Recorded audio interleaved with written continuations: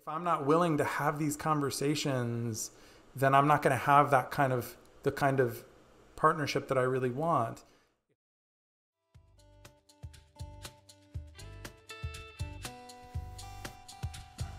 Hi, I'm Adrial, creator of the Herpes Opportunity, which is all about positively shifting your mindset, disclosing to potential partners in a way that truly connects you, and ultimately finding the love that you want and deserve. Now, you can check out the free ebook linked in the description below about having the talk. And now, onto the video. I hope you enjoy it. You know, it's it's uh, it's almost like fun therapy. Like when you have a partner who's like who's down with you and like you know aware and you know all this like a conscious human being you know you can kind of have these like the your relationship gets to be therapeutic not in like the dry you know therapy kind of way but like therapeutic in that we're both healing on this journey of like opening and going deeper with each other and trusting each other.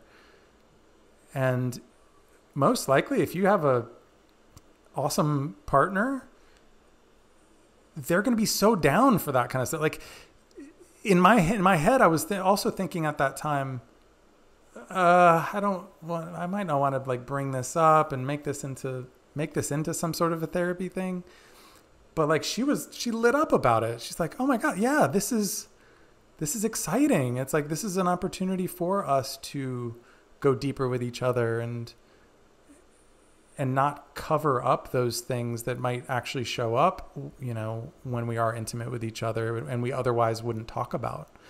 Like let's let's bring it up together. Let's explore. Let's get more intimate with all of us together. What we are building here is the blueprints to the house. First you have a vision of like what what it is that you want. It starts in your head.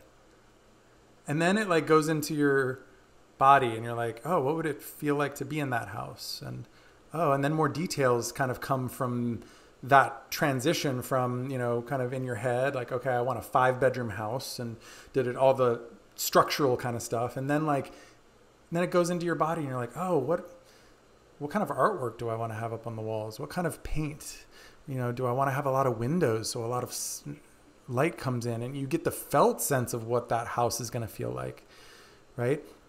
and then you start building it you start you pull out the nails and the wood and you start constructing it right and that's what we're doing here where it's like talking about it and like you bringing questions and then kind of me bringing my my experienced perspective in it that you're you're turning the corner around like okay this is the this is how many bedrooms I want my house to have but also like oh Adrial lives in the kind of house that I might want to live in. And what is it like for him to live there? Oh, so you get this kind of contact high, right? Of like, oh, I can start to feel it's like your mirror neurons kick in and like, oh, I can get a sense of what that feels like. Okay. And then you build your house from there. Uh, when you have the blueprint in your mind, but then you're on a date with this guy and then you're and you feel what it's like to maybe start being a little more vulnerable with him you know maybe even way before you actually disclose but like you get the sense of like ooh all right here's kind of bringing the blueprint into reality and starting to hammer these nails into the the wood like speaking to your partner and having conversation and then disclosing and then you know you're you're constantly kind of facing you're bumping up against your your own preconceived notions about like how this isn't possible into oh, I'm going to kind of speak it into reality.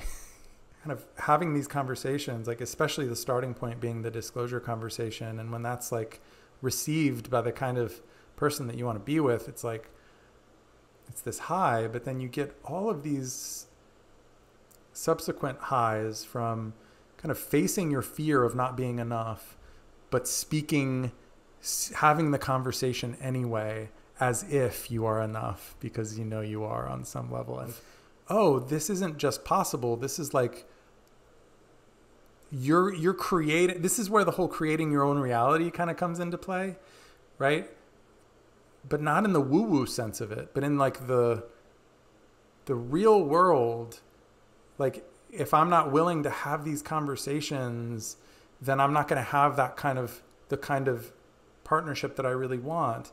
If I'm mired in shame, then I'm going to most likely not act in these ways that would then have me have the kind of partnership that I want. So the fork in the road kind of goes the other way because I'm I'm not doing having those conversations. I'm not taking action. I'm not putting myself out there. I'm not right. So it becomes a self-fulfilling prophecy in the other direction. Well, I hope you got a lot out of that video. And if you did, please let me know. Please like, comment, and subscribe, and keep an eye out for more videos just like this.